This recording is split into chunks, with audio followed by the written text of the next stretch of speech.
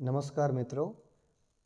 Engineering semester three, subject E T C chapter number four, ethics in engineering.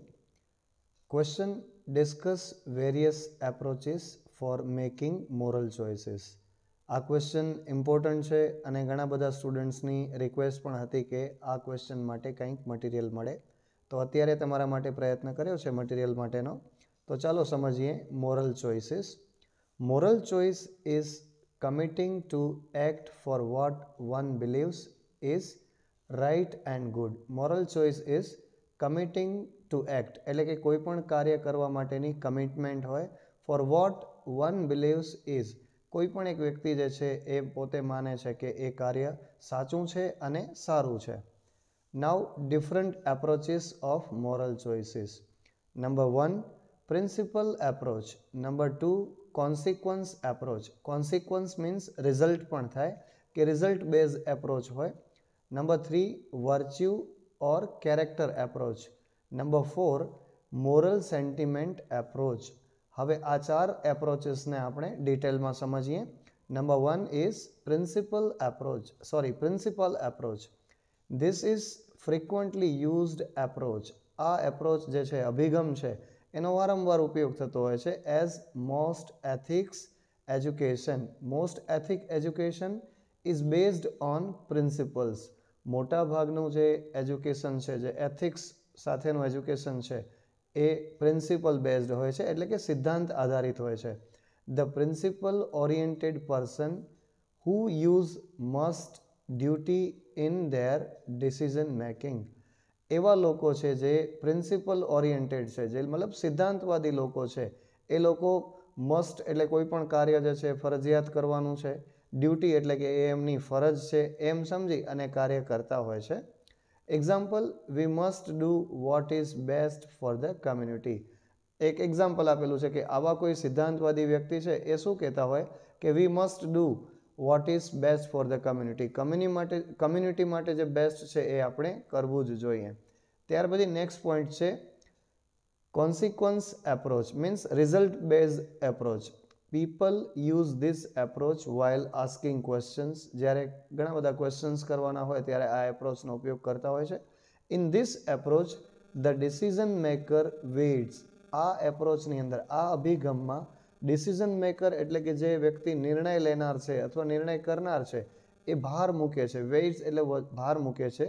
Several possible results કેટલાક એવા જે શક્ય પરિણામ છે, એના પર ભાર મૂકતા હોય છે and arrives at the decision to produce best result અને અંતે એ શ્રેષ્ઠ રિઝલ્ટ તરફ પહોંચે છે.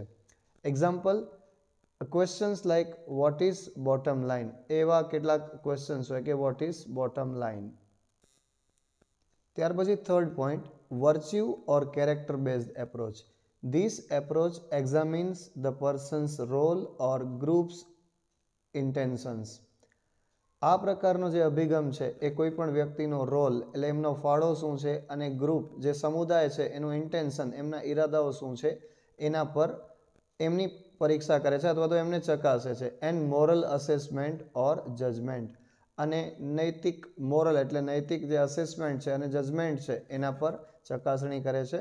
ઓફ ધ પર્સન્સ કેરેક્ટર એટલે કે જે વ્યક્તિનું કેરેક્ટર છે, ચારિત્ર્ય છે, એના પર પૂરેપૂરી ચકાસણી થાય છે. Example use of words good or bad એટલે કે કોઈ પણ વ્યક્તિ છે, એનું, એની જે મોરલ એનું મોરલ એસેસમેન્ટ છે એ કઈ રીતે થઈ શકે? કે એમની પરીક્ષા એસેસમેન્ટ એટલે અહીંયા પૂરું મૂલ્યાંકન થાય. તો એ વ્યક્તિ ગુડ મતલબ સારું છે કે ખરાબ છે એના આધારે એનું વ્યક્તિનું એસેસમેન્ટ થતું હોય છે.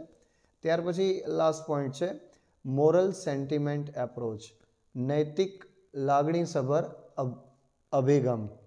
Most of the people experiences strong feelings when facing a difficult or moral decision.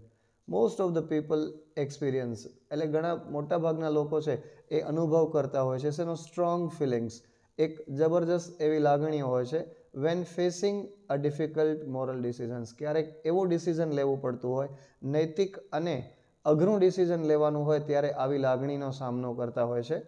They have powerful feelings અને એ લોકો પાસે એવી શક્તિશાળી લાગણીઓ પણ હોય છે. ફિલિંગ્સ હોય છે ઓફ અપ્રુવલ ઓર ડિસઅપ્રુવલ કારણ કે જ્યારે નૈતિક એવો મોરલ સેન્ટિમેન્ટ, લાગણીસભર અપ્રોચની વાત હોય, ત્યારે એ નિર્ણય લેવો છે ને, એ એ વ્યક્તિઓ માટે ખૂબ અઘરો થાય છે. પણ દે હેવ પાવરફુલ ફિલિંગ્સ પણ એઓની જે ફિલિંગ્સ છે ને, એ પાવરફુલ હોય છે, એટલા માટે એ અપ્રુવલ આપે છે. મતલબ કે એને સ્વીકારે છે અથવા તો એનો અસ્વીકાર કરે છે. For example moral judgement and conflict in decision making moral judgement and conflict in decision making કોઈ પણ નિર્ણય કરવો હોય, એ નિર્ણય કરવામાં જ્યારે કોન્ફ્લિક્ટ ઉત્પન્ન થતો હોય, એટલે કે જ્યારે સંઘર્ષ ઉત્પન્ન થતો હોય, ત્યારે પણ એમનું જે ડિસિઝન છે, એ કેવું હોય છે? મોરલ ડિસિઝન હોય છે. So these are the various approaches of making moral choices so students તમે આ રીતે જો ક્વેશ્ચનને બરાબર પ્રિપેર કરશો અને પોઈન્ટ વાઇઝ લખી શકશો, તો તમને સારામાં સારા માર્ક્સ મળી જશે. અને આ જે મટીરિયલ છે તમારા માટે બિલકુલ સિમ્પલ લેંગ્વેજમાં જ લખેલું છે. તો વધુને વધુ આ વિડીયોને જોવાનો પ્રયત્ન કરશો અને લખી લખીને પ્રિપેર કરશો તો બધા જ પોઈન્ટ્સ તમને યાદ રહી જશે. ધન્યવાદ.